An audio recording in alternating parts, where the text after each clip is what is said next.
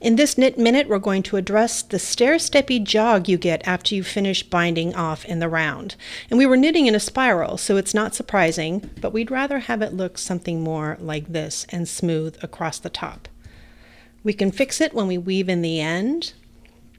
Just get yourself ready and jump over the other side and you see the V's going along the top of the bind off. Put your needle in under the first two legs of the first V, pull that through. It's already looking a lot better. And then go back down into the other side close to where you came out, but not the same hole. Pull that through. You've essentially created another V across the top, and when you weave in the end, you'll have a smooth bind off.